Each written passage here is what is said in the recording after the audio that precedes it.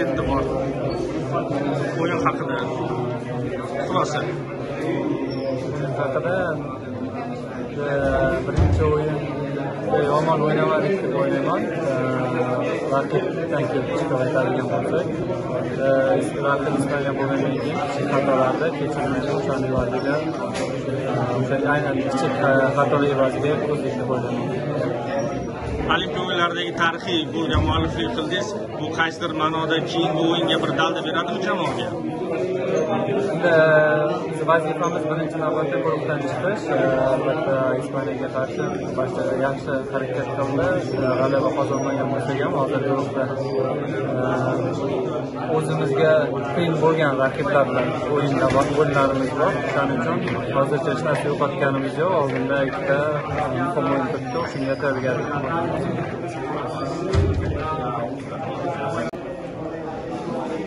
bugungi o'yinda penaltili vaziyatda umuman raqib raqibi hujum paytida ispaniyaga qarshi o'yinda boshida nima desa bo'ladi. Bolalarda bir hayajon sezilgandek bo'ldi. Keyinchalik hamma o'ziga kelib oldi.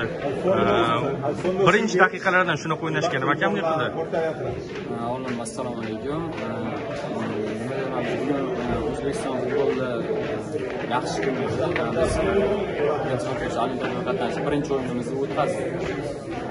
Afsuski mag'lubiyatga uchradik. Biz biz bu o'yinga yaxshi tayyorgarlik ko'rgan edik. Raqibimiz Ispaniya.